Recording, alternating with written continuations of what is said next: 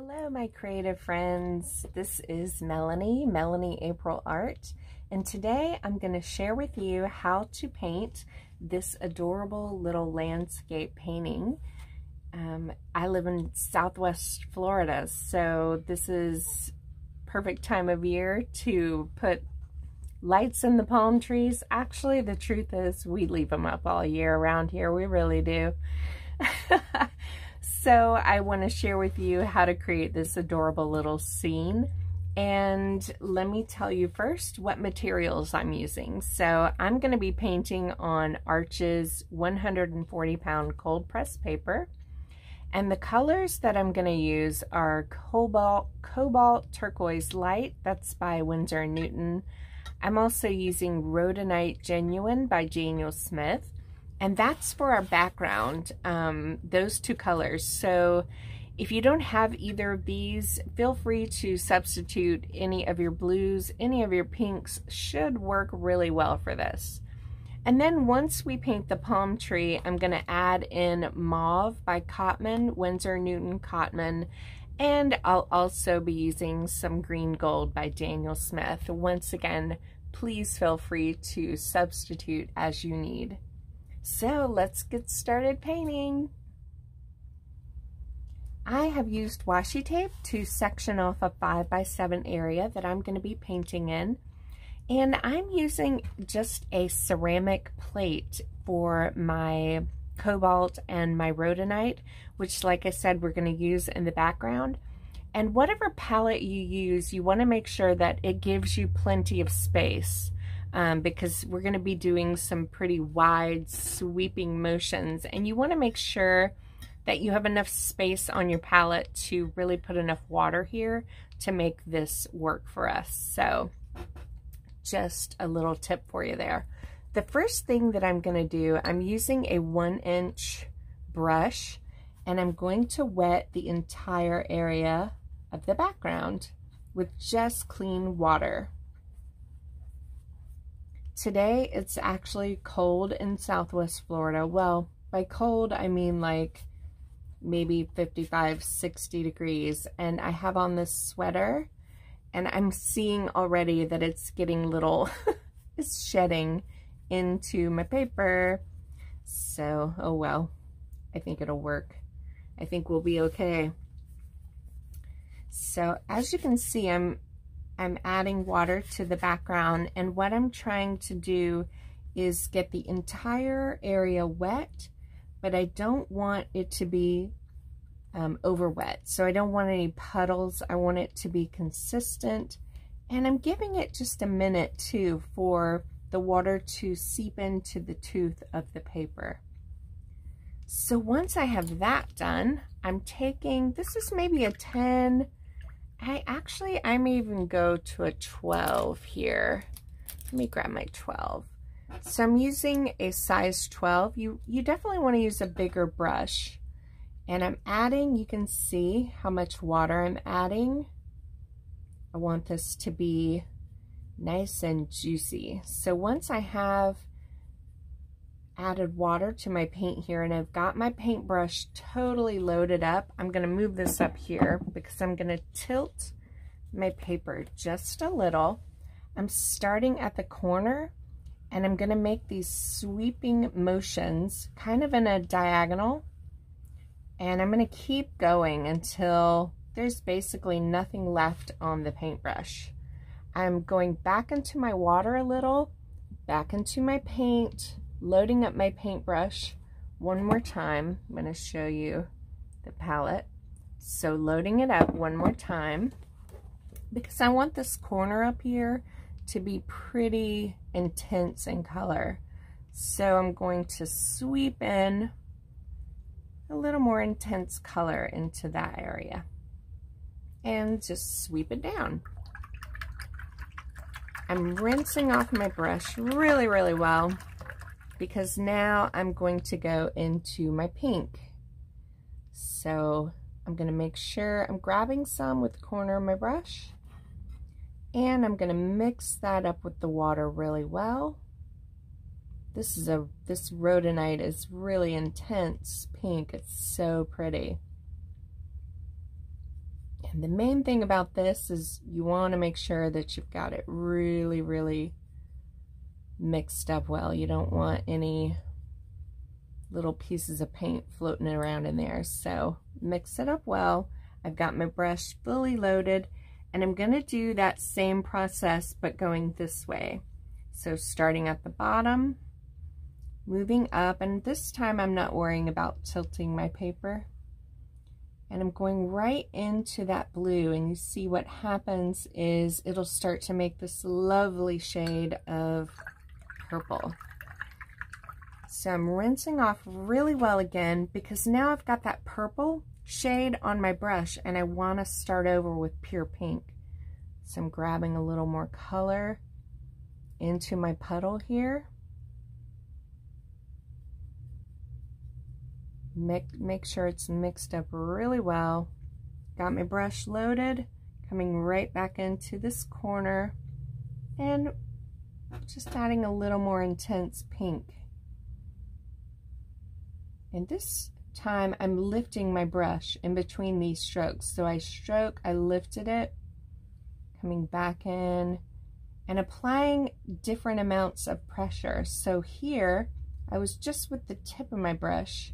Through here, I pushed, and it kind of makes these formations of clouds if you vary the degree of your pressure on your brush. So I'm pushing, and then I'll pull up to just the tip of my brush and pull it all the way through. So creating all these fun little shapes that will turn into these cloud formations in the back. So I think I'm going to call mine done. The best part or the best thing to remember when you're doing backgrounds like this is you don't want to fiddle with it too much. You kind of want to get in there and then get out um, because the more you fiddle with it, trust me, it can get, it can get a little hairy. so do your background, put in some clouds, and then let it rest. So I'm going to let everything dry, and then we'll start working on the palm tree. Once the background is dried, now we can do a drawing of our palm tree. And this is pretty simple. So you can decide if you want your palm tree to come this way or this way. Um, I'm going to go with this version. And if you look at this, if you pretend that this is in thirds, so the, the um, leaves of the palm tree are going to be up there in that upper third, and your trunk is about two thirds of the way. So I'm going to take my this, this is just a regular pencil and that's the top of my palm tree and I'm just drawing a curved line and I'll come back up here and follow that line. As I come down to the bottom it gets a little wider. So that is the basic of drawing the bottom of our palm tree. Now up here all I'm going to do is lightly pencil in some lines where I want my palm fronds to happen. So I'm just kind of fanning them out and they may not even necessarily turn out this way, but I just like to have kind of a plan in mind. So I'm just going to draw in some lines there to indicate where my palm fronds are going to be. Okay, that's it for our drawing. So now we can start painting the palm tree. Okay, so I've got all my colors here ready to go. This is my cobalt, rhodonite, I've got mauve, and I've got green gold here. We're going to start with the trunk first, and I've also dropped down to a smaller brush size since now I'm painting in a smaller area. I'm going to mix up a watery mixture of my mauve first. So I'm going to go a little light here and using that mauve to create a wet surface on my trunk.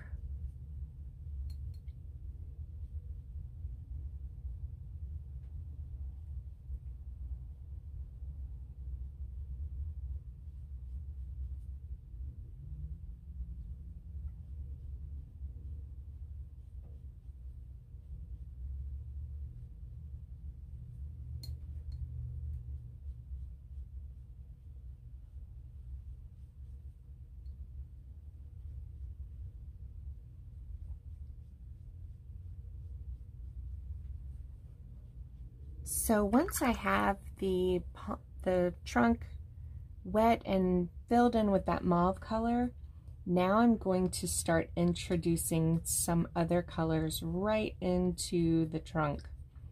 And you can see how watery and light I'm going, so not too intense with your color. And the way that I'm introducing these colors, I put them on my brush and drop them right into the wet surface.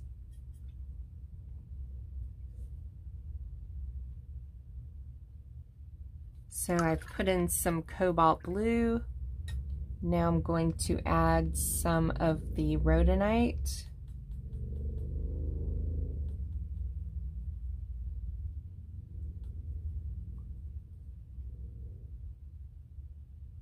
And some of that rhodonite I will add right on top of the cobalt so it gives it a little darker purple and especially here at the bottom to kind of anchor it, making it a just slightly darker down here at the bottom. And in between your colors, you want to make sure you rinse off your brush really well. Now I might add, I think I'm going to go ahead and add some of this green gold into my trunk. Just be wary if you're using this color, it is, it will take over the world. so you just want to use a little bit at the time. it's uh, an exploding color. It really can take over your painting. It's such a gorgeous color though.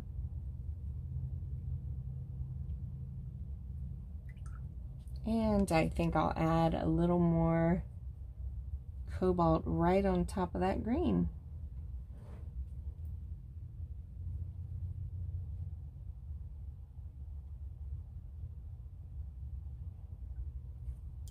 All right, that's looking good to me. So some different things that I've done, as you can see, I've done a few versions of this painting.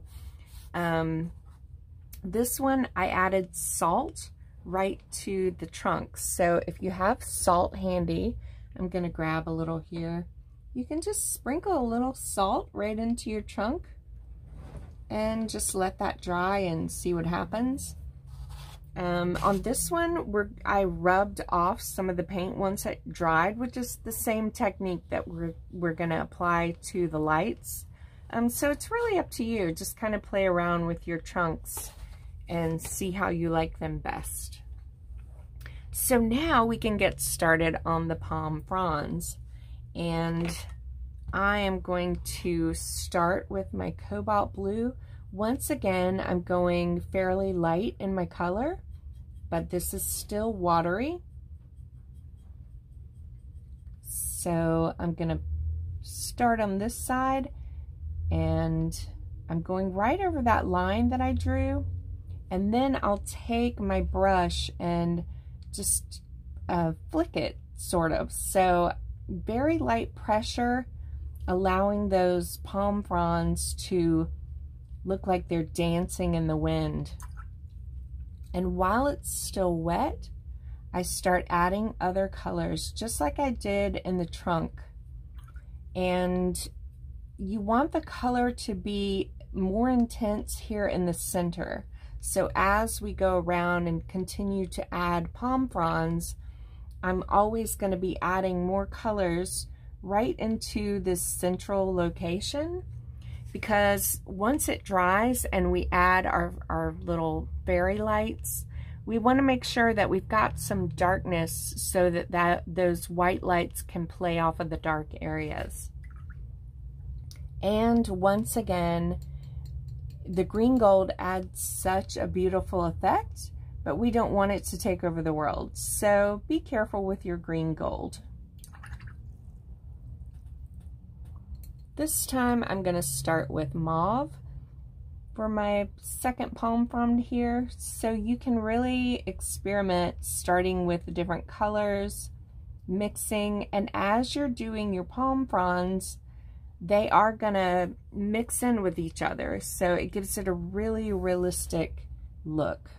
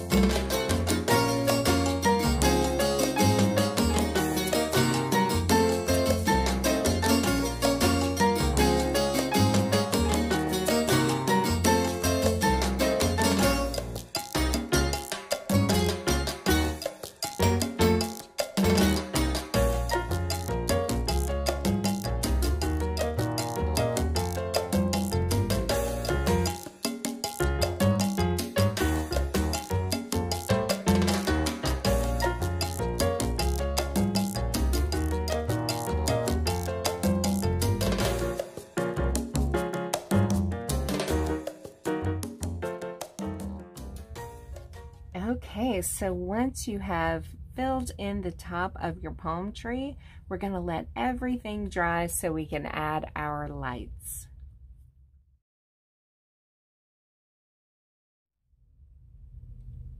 Once everything is completely dry, you can rub off the salt. If you use salt, you can just rub your finger right over and brush off the salt from your trunk.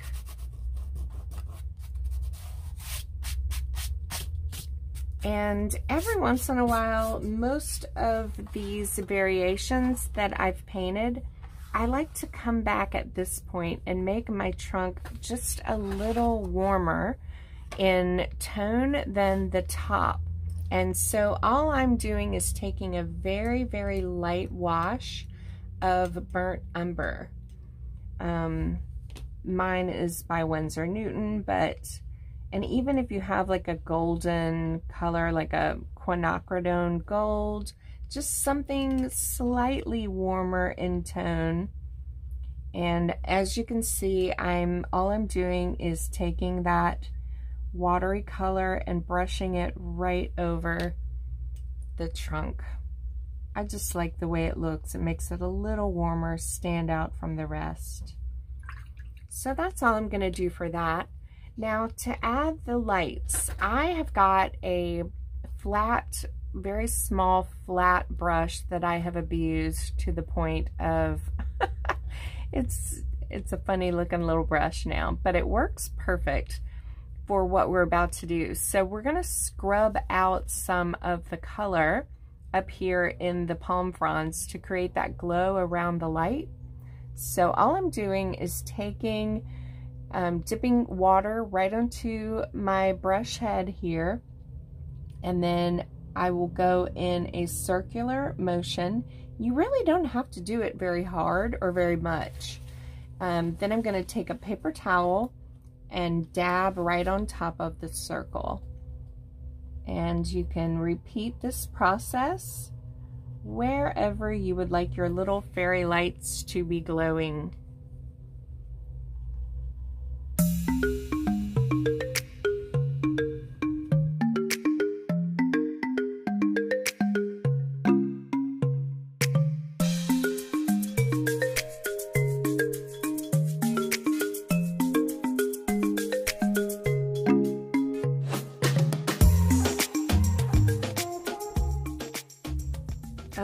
So once you have all the glow that you would like to have in your palm tree, uh, you want to make sure that the area is dry before we start adding the white light part of it. So I have used, in the past, I've used gel pens, I've used Posca paint pens, white acrylic ink, white gouache, um, today I'm going to be using this white ink by Kuretake. Um, so basically anything white that you have, even white acrylic paint would work fine for this because basically all we're going to be doing um, are small little dots of light. So I'm going to open my ink. I'm going to take my very tiny brush and dip it right into my ink. This stuff is pretty thick. And right in the middle of those glowy areas, I'm just going to dot in some of my white ink.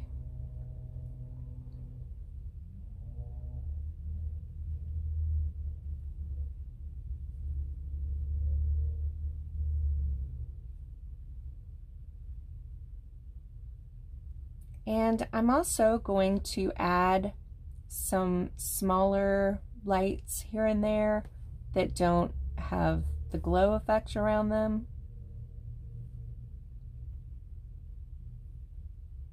But just little twinkle lights in my palm tree.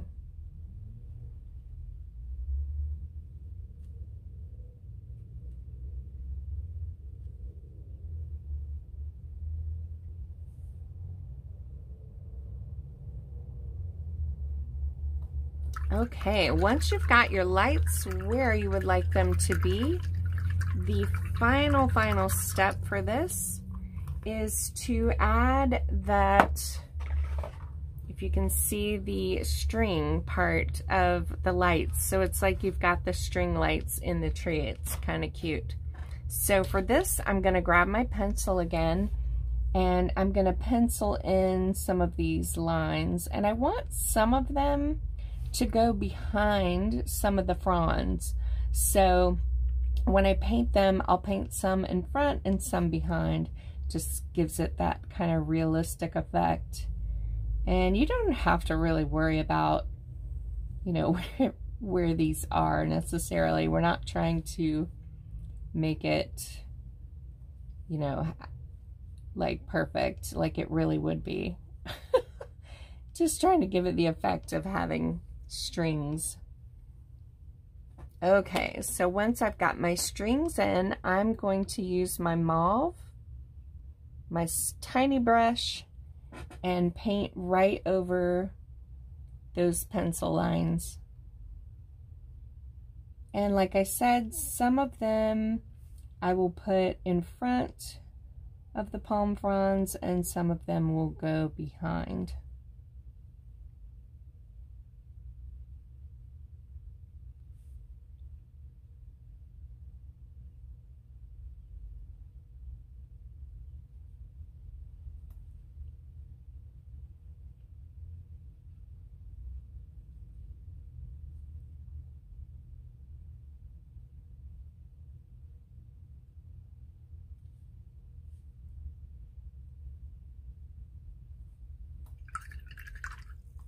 And voila, we are pretty much done.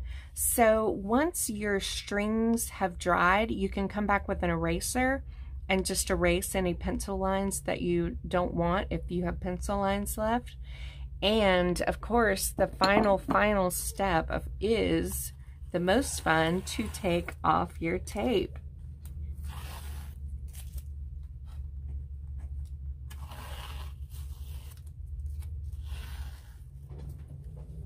One more final tip I almost forgot. So as you can see in this version, the lights look like they're colored. It's really simple to do. So once it's dry, everything's dry, I can take my tiny brush, grab just a tad bit of color, whatever color I want, and I'm going to put it right around that glowy section. And Sometimes I'll take my paper towel and dab it a little bit. We don't want it to be too, too colorful or, or kind of take over the glow effect. Here I'm grabbing a little yellow. So you, I'm doing yellow and pink on this one. You can add colors as you would like. Just make sure you go really light with the color.